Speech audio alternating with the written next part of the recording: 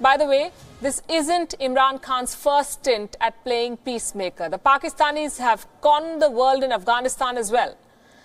They were the brokers of the Afghan Taliban peace deal, a deal which President Trump recently declared dead. And yet, he's at it again, reportedly with Trump's blessings. So, what gives?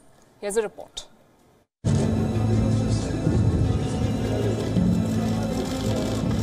Imran Khan making overtures to Iran. This is the second time that the Pakistani Prime Minister has travelled to Tehran this year. The Pakistani government has been cryptic about the purpose of this tour. They say it is about promoting peace and security in West Asia. But the skepticism is obvious when Pakistan is in the picture. Pakistanis are acting here on behalf of Trump. If Imran Khan goes by himself and speaks to the leaders of uh, uh, Saudi Arabia and Iran uh, merely as the Prime Minister of Pakistan, they will laugh at him.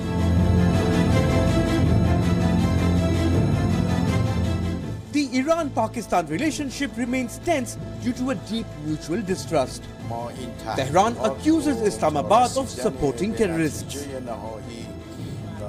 In February, 27 members of the elite Revolutionary Guard were killed in a suicide blast. Iran said that a Pakistani suicide bomber was behind the attack. Uh, Pakistan has uh, a sort of peculiar relationship of friend, uh, friendship and uh, tensions with Iran. Iran accuses Pakistan of uh, arming and training extremist Sunni groups on its territory which are then infiltrated into the Iranian province of Sistan Balochistan and cause havoc. Iran has in fact carried out cross-border, uh, cross-border attack not too long ago on Pakistan in retaliation for one such attack arising from Pakistani territory. हम कोशिश कर रहे थे कि हम किसी तरह सालिस का किरदार अदा करें ये जो यमन में लड़ाई हो रही है जिससे सारी मुसलमान दुनिया को तकलीफ है तो हम अब पूरी कोशिश कर रहे हैं कि हम अब अब से सालिस का किरदार अदा कर रहे हैं दो मुल्कों में ये लड़ाई खत्म करने के लिए The Pakistani Prime Minister made this proclamation almost a year ago. The civil war in Yemen is far from over. Saudi Arabia and Iran are the two major players in Yemen and they remain at loggerheads. On several occasions, Imran Khan has said that he wants to play the role of a mediator in Yemen. But till date, Islamabad has failed to come up with a clear strategy. In fact, three years after Pakistan declared neutrality in the Yemen conflict, Islamabad sent Pakistani troops to Saudi Arabia in 2018.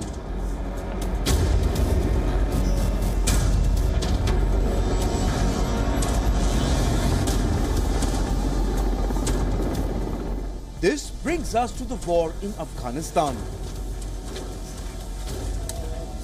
US President Donald Trump had enlisted the services of Pakistan for his peace deal. Last month, the talks collapsed. They're dead. They're dead. As far as I'm concerned, they're dead. Trump himself announced that the dialogue with the Taliban is dead. America was relying on Pakistan to tame the Taliban, but the move failed to pay off the Trump administration refuses to learn from the past. Frantic efforts are underway to restart the dialogue. Earlier this month, members of the Taliban met with American diplomats in Pakistan. Yet again, the government of Afghanistan remains largely missing from these conversations. The peace talks are about the future of Afghanistan. But the elected lawmakers remain out of these peace talks. Beyond the poor track record in peacemaking, is Pakistan really qualified to play mediator in Afghanistan and South Asia? Experts wonder what else can Islamabad bring to the table? At best, Imran Khan is playing the role of a messenger for America. The efforts to mediate in Afghanistan and West Asia are at best a public relations blitz. The civilian leadership of Pakistan lacks the power to take any decisive steps on foreign policy. Perhaps Imran Khan would be served well if he focuses on the economic crisis of Pakistan first. Bureau Report, WION, World is One.